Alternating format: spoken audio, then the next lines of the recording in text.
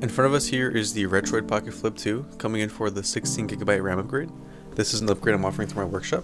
If you'd like to get it done to your device, feel free to shoot me a message from my site, or you can shoot me a text or a call. This upgrade aims to improve the performance of modern game console emulation, Windows emulation, heavily modded games such as Minecraft, simulator type games, and other memory starved software contexts.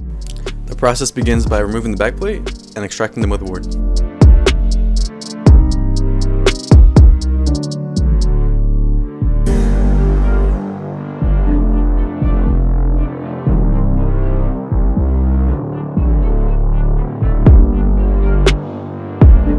With the motherboard removed from the chassis, we now got to remove the metal CPU shielding that's covering the SoC and the RAM chip.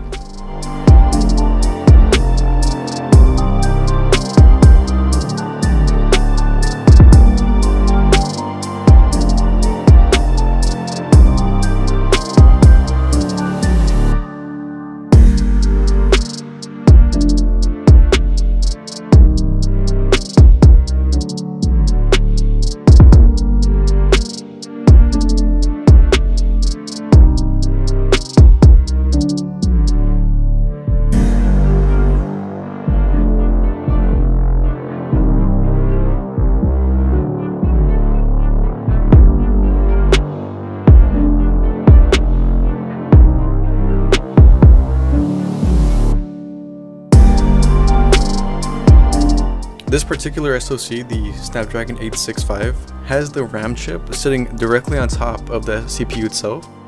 So when removing the RAM chip, you're going to be careful not to melt the solder underneath the CPU. You just want to be able to melt the solder enough to loosen the RAM chip sitting on top. I'd also like to give a shout out to E1000 over on the Handheld Mods Discord server. He's the person that gave me the idea to get this upgrade done. So shout out to E1000.